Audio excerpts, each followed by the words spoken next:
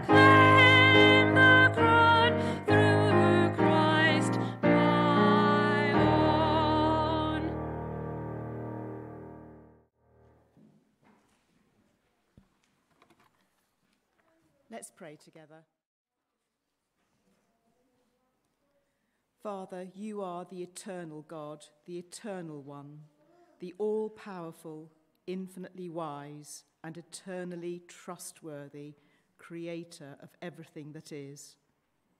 Thank you that we can come to you in prayer, we can come into your presence because of our Saviour, the Lord Jesus Christ, the Lamb, whose blood was spilt for us, for our sin. Thank you for that precious name.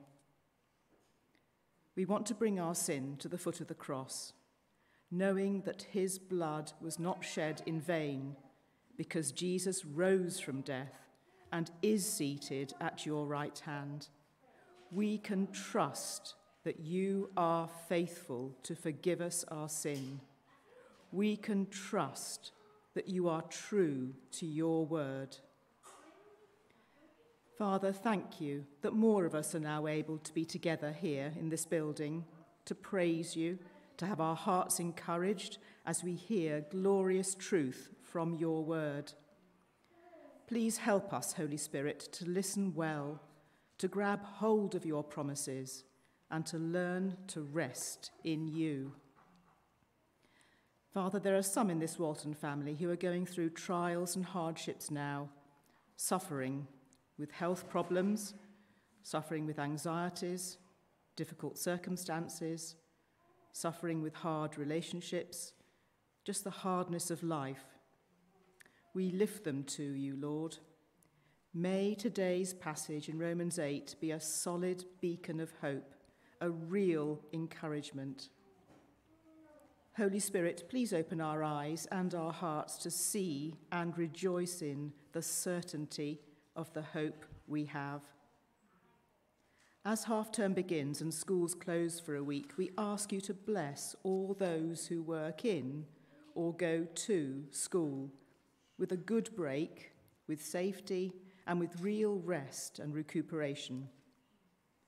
And Lord, we do continue to ask you to give wisdom and discernment to those in church leadership who make decisions about all the changes as a result of lockdown easing Please help us to gratefully and wisely use the opportunities we now have to share the wonderful hope we have in Jesus. And in the same way, please bless and give wisdom to our government to do what's right in your sight for this land, and not just in relation to this land, but in their dealings with countries around the world that do not enjoy our blessings and freedoms and who are still in the thick of battling the virus, who don't have sufficient vaccines or a robust health service. Give those who know you in the corridors of power special guidance and courage and wisdom to be salt and light, even when it's hard. We bring all these prayers to you in the name of our dear Saviour, the Lord Jesus Christ. Amen. Let's join in with brick after brick all together.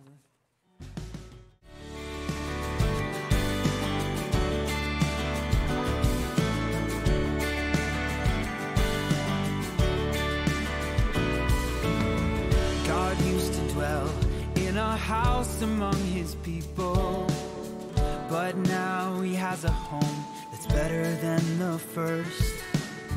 It doesn't look like a building with a steeple. Now he's living in the people of the church. Brick after brick, God is building his temple. Brick after brick, he is making it strong. With Christ the sure foundation and his people as the stones, he is building a place he can after brick.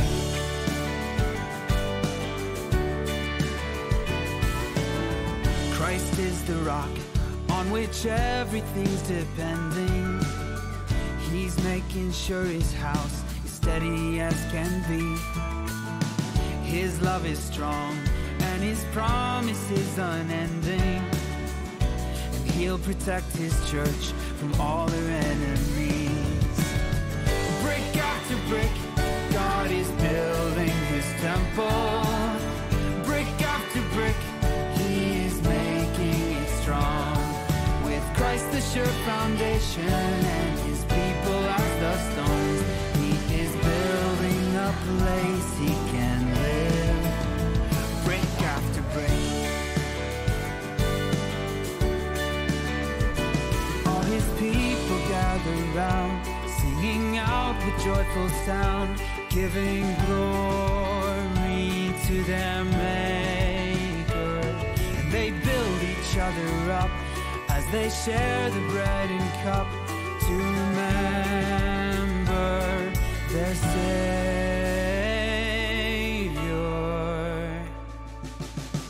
Brick after brick, Brick after brick after brick. brick after brick, Brick after brick after brick after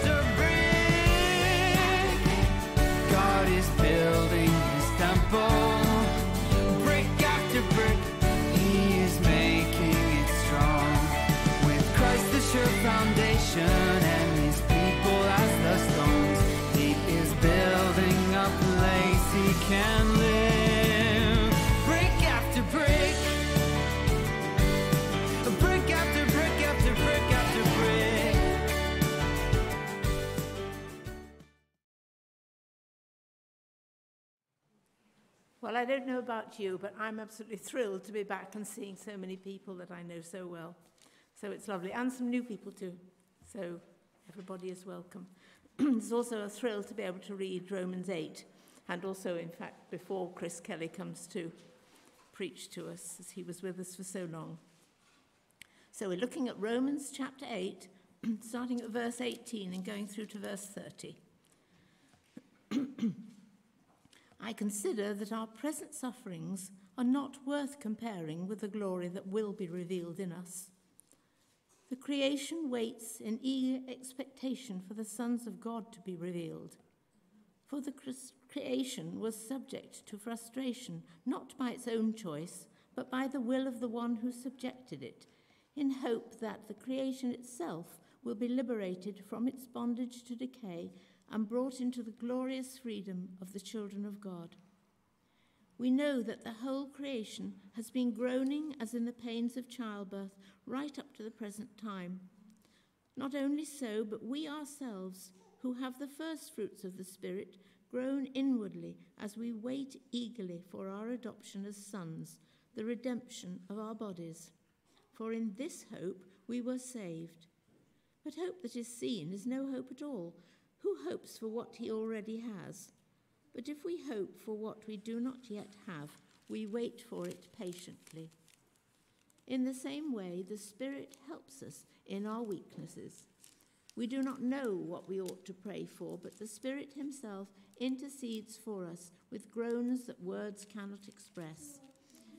And He who searches the minds, um, sorry, he, he who searches our hearts, knows the mind of the Spirit, because the Spirit intercedes for us, for the saints, in accordance with God's will. And we know that in all things God works for the good of those who love him, who have been called according to his purpose. For those God foreknew, he also predestined to be conformed to the likeness of his Son, that he might be the firstborn among many brothers. And those he predestined, he also called. Those he called, he also justified. Those he justified, he also glorified. This is the word of our Lord. Amen. Thank you so much, Wendy. Uh, in a moment, one of our uh, dearest friends, uh, Chris, who was uh, pastor here uh, for many years and is loved uh, by many people, is going to speak to us. Unfortunately, he couldn't be here. He would love to have been here face to face, but that wasn't possible for this weekend. And so he's recorded a message uh, for us uh, on those verses. So we're going to listen to him in a moment. Uh, before, we're going to stand and engage with the words of You Will Hold Me Fast. After the first verse, the kids from class one, uh, that's year one to five, enter the hallway. Uh, we'll show you where to go. Uh, you're, you're on for today. Class two, we love you. But um, half term, I, I wanted a little break. So I'm hanging out with you here in the main hall, and we're going to have a quiz afterwards, okay? So about the sermon. So let's stand and engage with the words of He will hold me fast.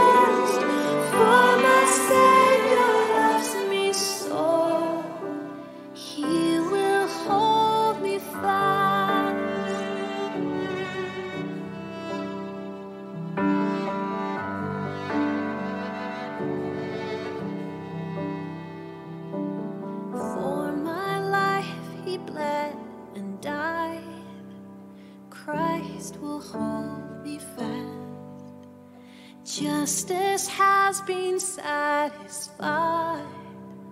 He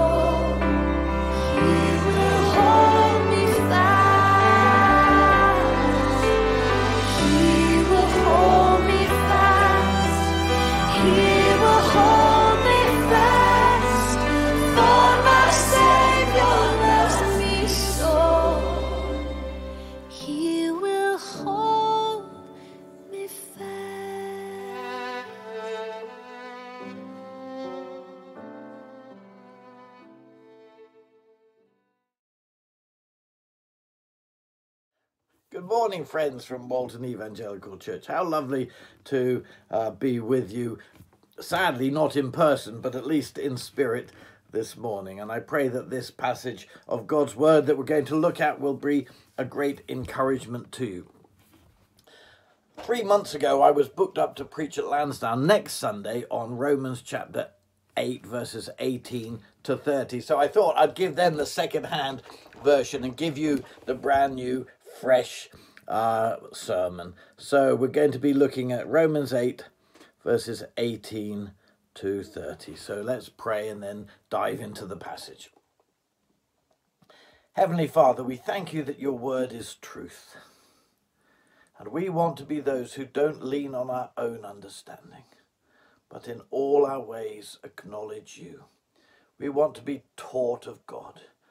We want to follow your ways, your paths, your wisdom, and walk in the ways of righteousness.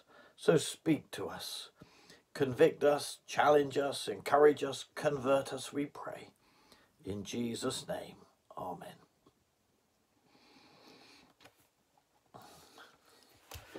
Billy Graham is reported to have said that when a person is seeking the Lord, when a person is almost converted, they see, as it were, the entrance to salvation as a gateway, a doorway, and above the door is written, Whoever will may come. The offer is to everybody, whoever will may come. And then they walk through that gateway into the Christian life, salvation, becoming children of God. And they turn around and they look over the entrance they've just walked through and they see written on the other side, chosen from before the creation of the world. We have to hold these two things together. There's the free offer of the gospel, whoever will may come, and there's the sovereign election of God, chosen in Christ from all eternity. I think of it a bit like one of those magic eye paintings or pictures that we used to have um, few decades ago. You would see this nice picture and you would see it have lots of horses or uh, crowns or something on it. But then as you gaze at it and kind of go a bit cross eyed and look deep into the picture, so the picture of a face or a person or a castle appears. And, and you realize there's the surface picture and there's the deeper picture. And in the Christian life, there is that surface picture, human responsibility. We become Christians by repenting of our sin, believing in the Lord Jesus Christ, following Jesus Christ, persevering all the way to heaven. But that's not the whole of the picture. As you look deeper, you see there the sovereignty of God, that you have been loved with an everlasting love that nothing can separate you from the uh, love of Christ which uh, is poured out upon you, that you have been chosen in Christ. That God has called you out of darkness into his wonderful light. Well, we could go on looking at uh, these two uh, teachings human responsibility and divine sovereignty.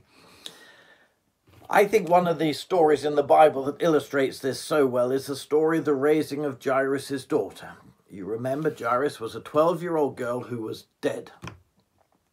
And her dad comes to Jesus, falls at Jesus' feet, and asks Jesus to come to his house. And uh, on the way, there's a lady who is not 12, she's much older, because for the last 12 years, she has had what we read of as an issue of blood. She was uh, ceremonially unclean, she was physically unwell, and it just affected the whole of her life, her family, and it was like a living death for her. And secretly, all on her own, she sneaks up through the crowd, pushing her way, which she shouldn't be doing because she was unclean, and comes behind uh, Jesus. And she thinks, if I just touch the hem of his garment, I'll be healed. And so she reaches out and touches the hem of his garment. And Jesus turns around and says, Who touched me? The disciple said, Oh, don't be silly. Everybody's been touching you. Well, how do you, what do you mean, who touched me? But Jesus knew he was talking about a touch of faith. And the woman comes out of the crowd and she says, It was me. And I've been healed. And Jesus says, Go, your faith has made you well. Her faith had saved her. And then Jesus goes into the house of Jairus, and there's his 12 year old daughter dead on the bed. And Jesus takes her by the hand and says, Little girl, arise. And the little girl gets up and lives. It was 100% Jesus. She was completely dead. She didn't do anything. She was completely passive. Whereas the woman with the issue of blood, she was completely active. She was doing it all on her own. And, and these two stories, they are joined together in what's called a Markan sandwich in the Gospel of Mark. These two stories are one story, and they show human responsibility and divine sovereignty. And these two things fit together. We, we mustn't get rid of one in order to hold the other. Just as you don't have to pluck out one eye in order to be able to see clearly, use both eyes to see clearly. And we need to hold both to human responsibility and divine sovereignty. And we see them hinted at actually in Romans chapter 8, verse 28, this fantastic verse that every one of us ought to learn off by heart. Romans 8, 28 says, And we know that in all things God works for the good of those who love him, who have been called according to his purpose. Now, are Christians those who are converted because they love God? Or are they converted because they are people who have been called according to God's purposes? Is it because they have turned to God, or is it because God has called them? And the answer is both. You mustn't remove one, or else you go terribly wrong. We see in Romans chapter 8, verses 18 to 27, that in this life we will certainly know suffering. We live in a groaning world and we're groaning people. But that's not the whole of the story. In verses 28 to 30, we see that after this life we will certainly experience glory. Now, if you hold to just divine sovereignty, then you will really struggle with the whole problem of suffering. I mean, if God is sovereign, if He's going to um, hold you and take you all the way to glory, why do you have to struggle with temptation? Why do you have to persevere to the end? Why do you have to be faithful? Surely, if God's sovereign, you're going to get there anyhow, so you don't need to bother about the battle with the world, the flesh, and the devil. Verses 18 to 27 are no problem. We don't have to persevere. God's going to save us.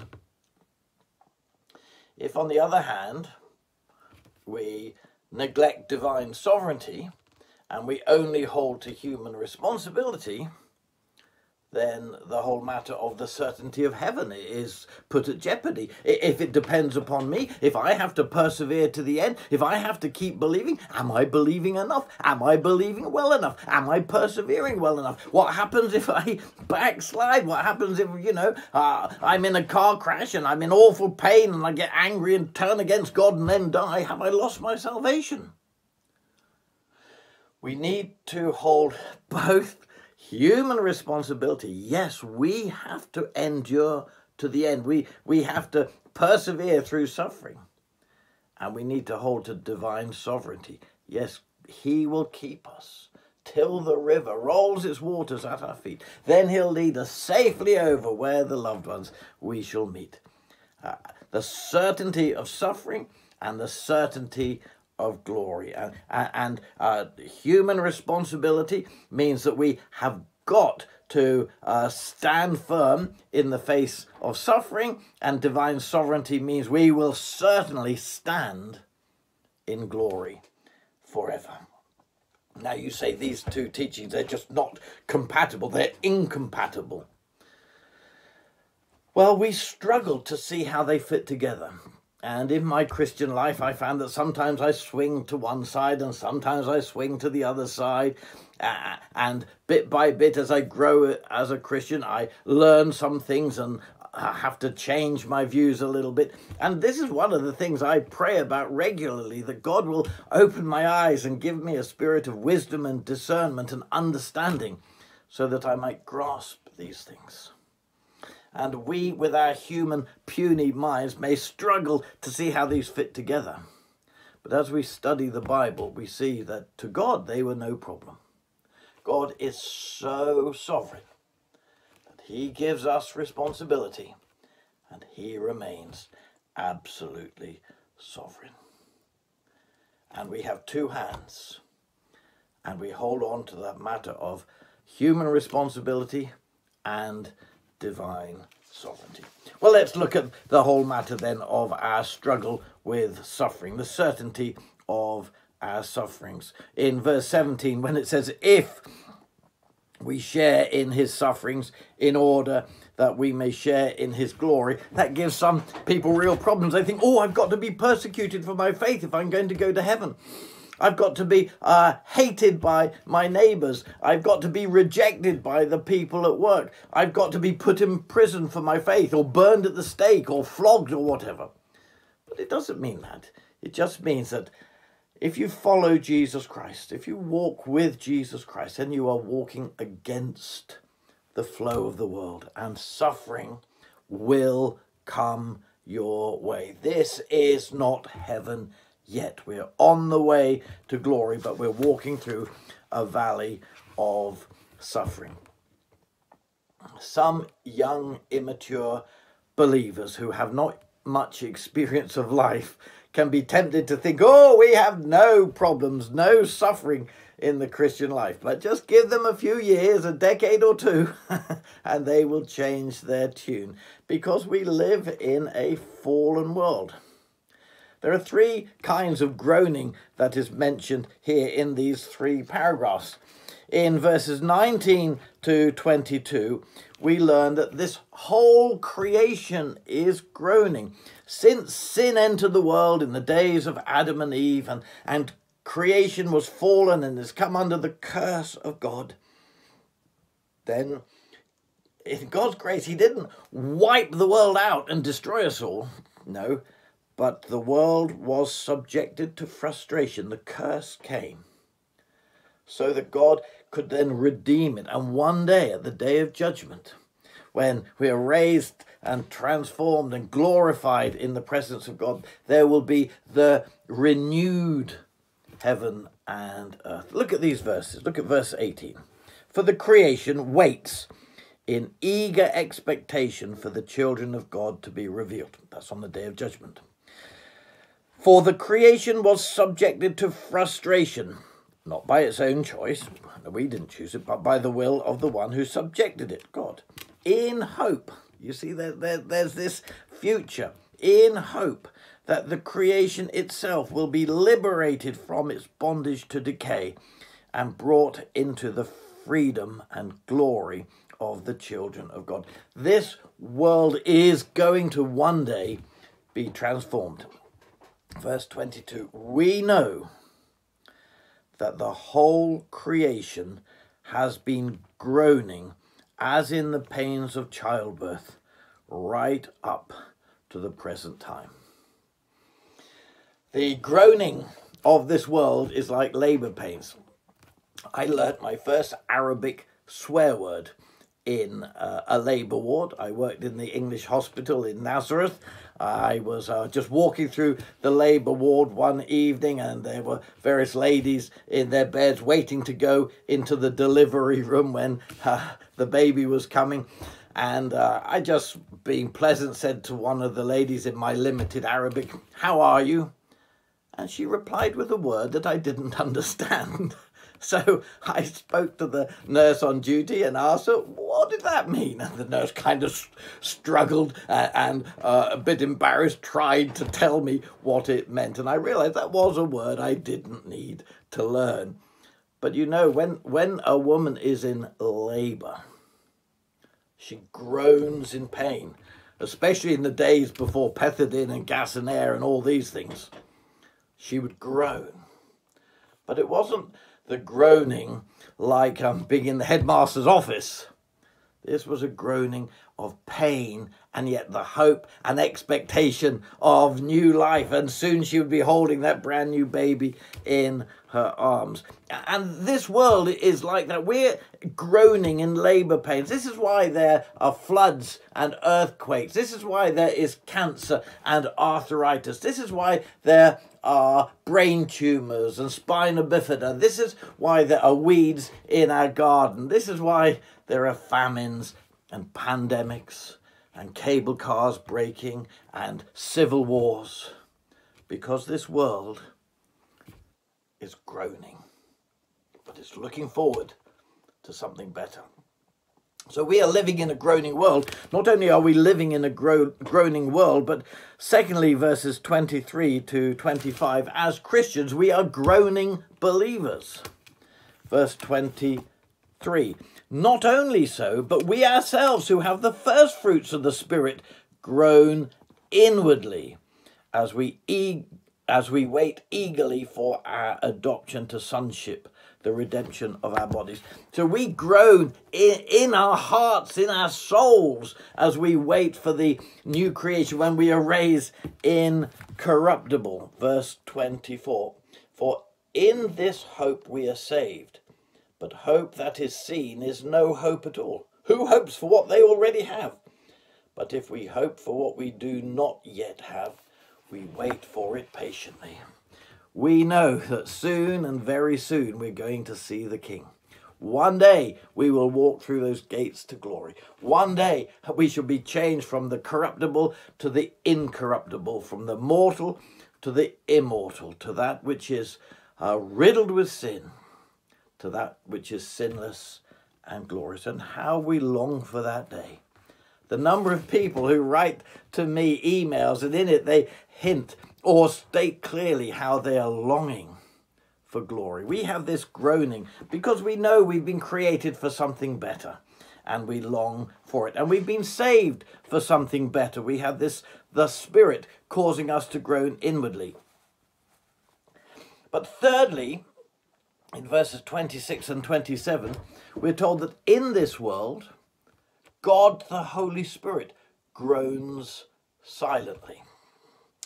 Now, it can be quite difficult to understand what this means. What is it for God to groan? Is that something He does in us as individuals, in us as a church, or whatever?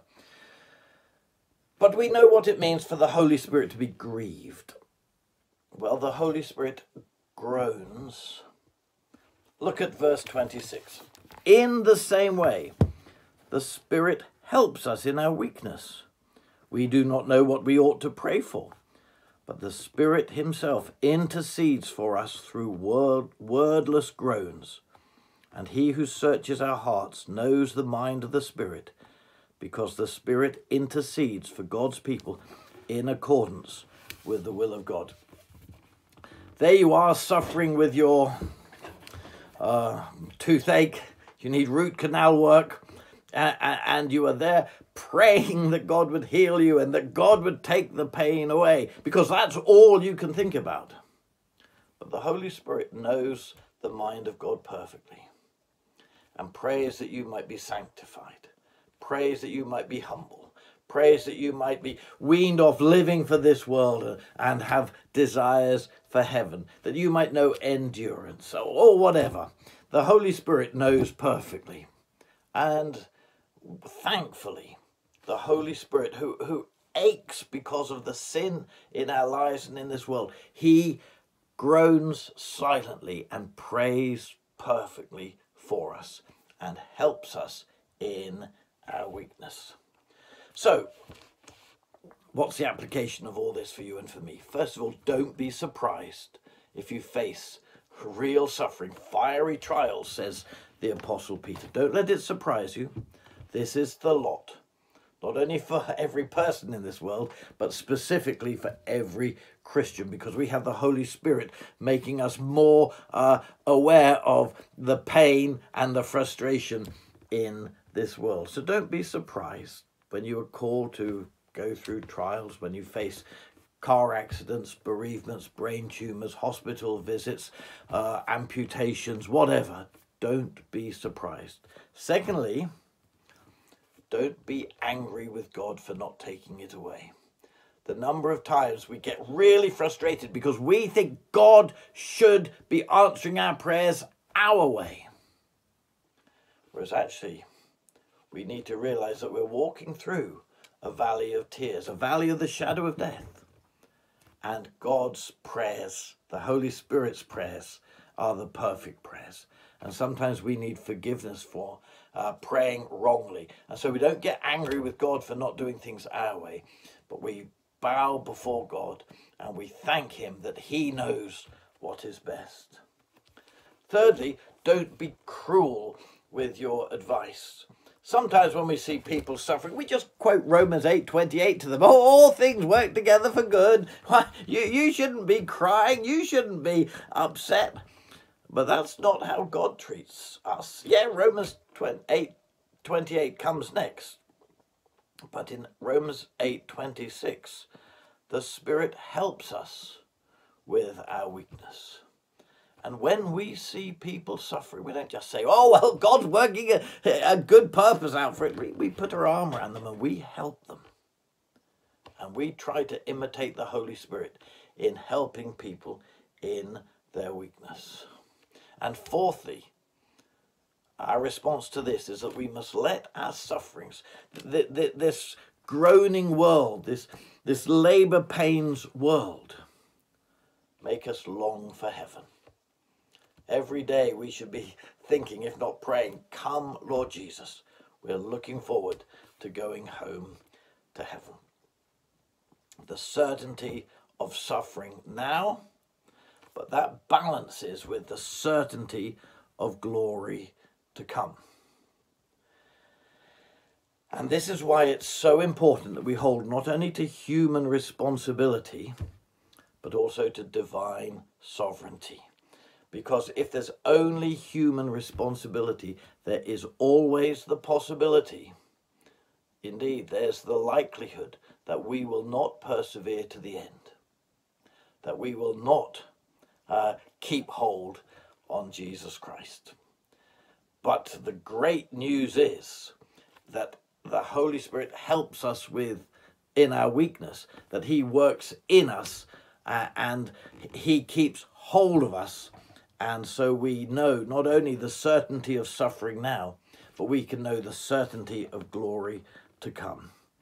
And we're told two things. We're told, first of all, in verse 28, that God works in all things for our good. And then in verses 29 and 30, that God works at all times for our glory.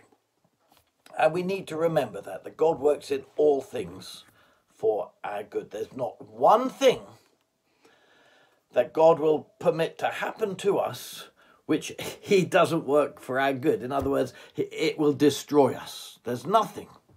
God will not let anything happen to us that will take us away from Him, that will disqualify us uh, from his love that will separate us from Christ, that will keep us out of glory. No, no, he's going to work in everything for our good. So whether it's persecution, whether it's family problems, whether it's intellectual struggles, whatever, God is not going to be absent and leave us to um, be destroyed by these things, but he's going to work in them for our good. So, so far from losing our salvation, these things will actually sanctify us. Look at verse 28. And we know that in all things God works for the good of those who love him, who have been called according to his purpose. In the old authorized version, it said, All things work together for good to those that love God. And that's absolutely true. Uh, the New International Version puts God there. In all things, God works for the good of those who love him. And it's because God works in all things for the good of those who love him, who've been called according to his purpose, that we now know that all things work together for good because God's at work in all of them. There is nothing that can destroy your salvation because God works in everything for your good.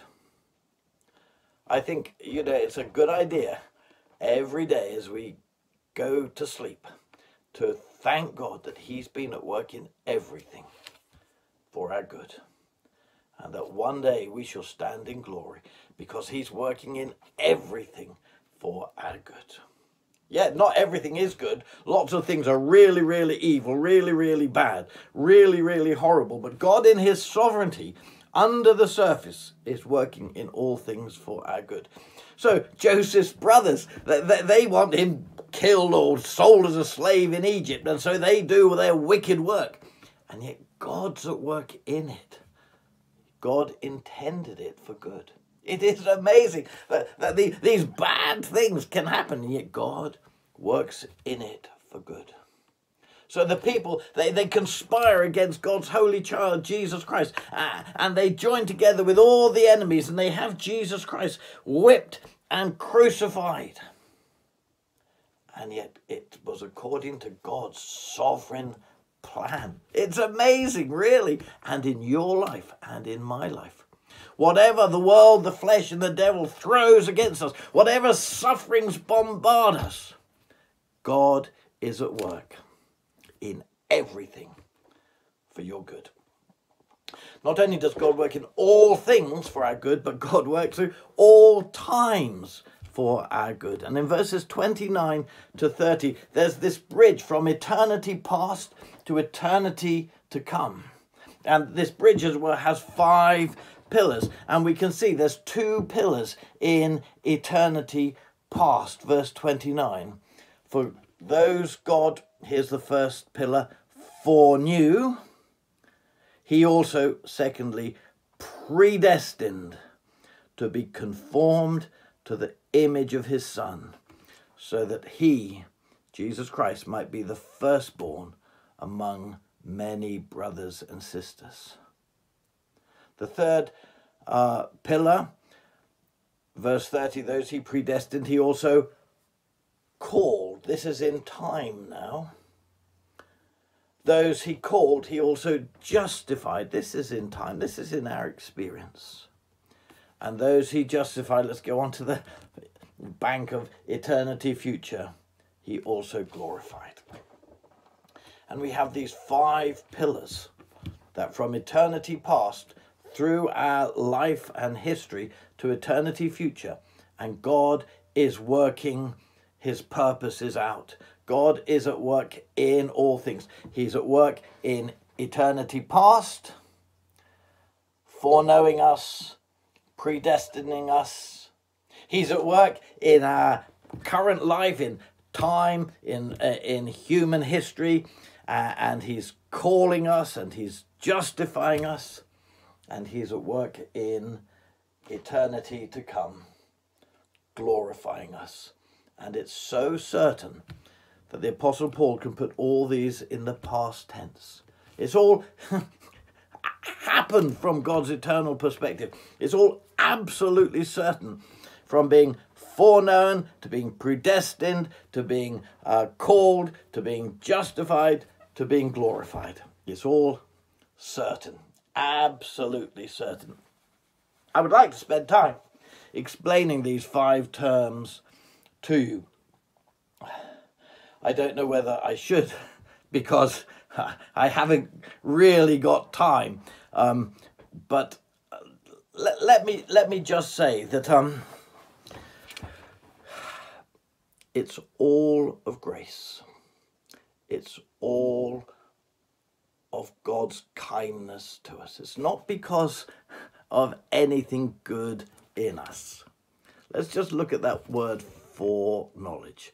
Because when I was a young Christian, my mum decided to explain this to me. And she told me that God looked forward to see those who would believe in Jesus Christ. And he foreknew who would believe in Jesus Christ. And then, as it were, he ran back in time to before the creation of the world and wrote our names in the book of life. And so he chose us because he knew we would choose him.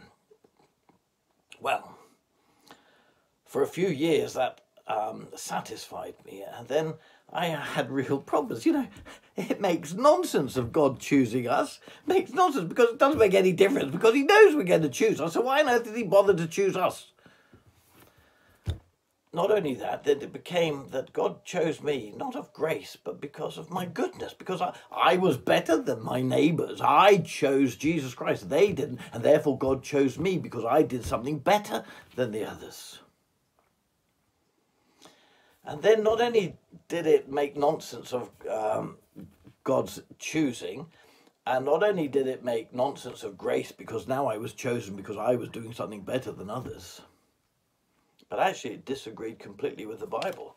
Because in Romans chapter 3 and verses 10 and 11, the Apostle Paul quotes scriptures and he says, As it is written, there is no one righteous, not even one. There is no one who understands. There is no one who seeks God. All have turned away. They have together become worthless. There is no one who does good, not even one.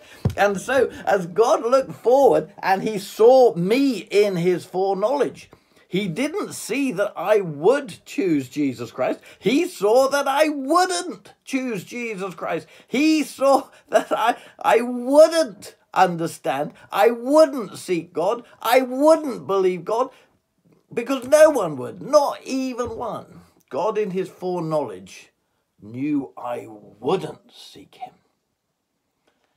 And yet, he determined back in eternity to love me and have a relationship with me. Not only that, but he predestined me to glory. Because if he had left me in my own strength to keep going to glory, I would never get there. And so it was this he put a, a rope on me to draw me to heaven. Back in uh, Devon on the Brendon Hills, there's the old uh, tin mine railway and uh, there, there's a steep incline that is so steep that the train cannot possibly get up it pulling its carriages. Couldn't even get up it on its own. It's actually uh, a gradient of 1 in 4 25 degrees which is steeper than the cable car going up um, the matterhorn. Um, so what they did is they built this winding uh, house and there's this cable that goes down the hill and the train unhitches the carriages and the uh, chain is uh, joined to the carriages and it pulls the carriages up the hill. Uh, and that's what predestination is. On our own, we would never get to heaven safely. But because of God's grace, we will get there certainly. O love that will not let me go, I rest my weary soul on thee. I give thee back the life I owe.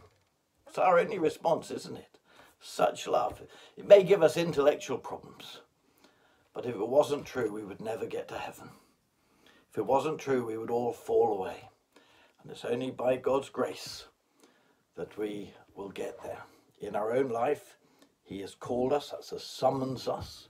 He has justified us, pronounced us not guilty, and in the future we will be glorified. And what does that mean? Let's go back to the verse before our passage, chapter 8, verse 17. Now we are children. If we are children, then we are heirs, heirs of God, and co heirs with Christ. When we see him, we shall be like him. And we are co heirs of all that Christ inherits. It is phenomenal. It is amazing. And we go through the valley of suffering, we go through groaning on our way to glory. And we know that the groaning will not destroy us because in all things and through all time, God is working for our good and our glory. And we say, Thanks be to God. Amen. I think I should pray, don't you? Heavenly Father, we thank you that you are God, our Saviour. Though we must repent and believe, we, we can't do anything perfectly, we can't do anything good enough. We need to repent of our repentance, it's so feeble. But we thank you for your amazing grace. And thank you that you love us with an everlasting love, and you guard us and keep us. And we say thanks be to God for such a great salvation. Keep us thankful, rejoicing, and hopeful for Jesus' sake. Amen. Amen. Thanks, Chris. I know that you're watching and that you're missing being able to be here with us. Uh, before we finish our formal time together, we're going to stand and engage with the words of the song, O my soul, arise and bless your Maker. Let's stand now as the music begins.